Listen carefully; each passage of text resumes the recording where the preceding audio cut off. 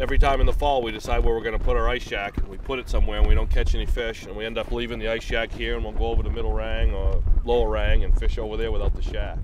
We woke up one morning and said we, we better have a ice house and I took some scrap plastic and wood and threw it together. Yeah. Coleman gas stove for heat. That works good for that, you know. I mean, it, Yeah, Oh yeah, we can have all the luxuries of home. That's for sure. We just put on a pot of coffee. Right there, brewing.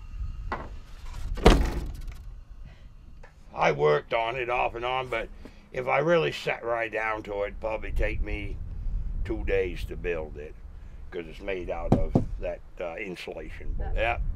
Grandson and grandfather fishing. That's good.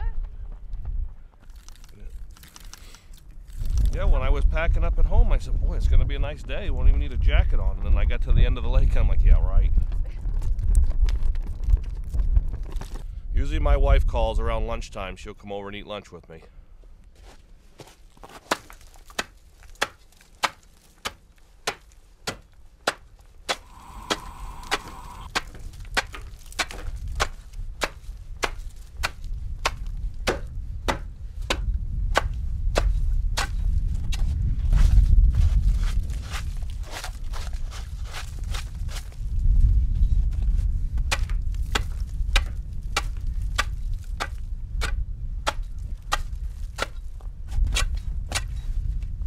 Used to be years ago, I'd and drill holes, set outside traps, you know, and I'd, you know, put up with the cold. But as you get uh, kind of be my age, the coldness kind of sets in a little bit rank. So, me, I'm comfortable to just come out and fish in my ice shack.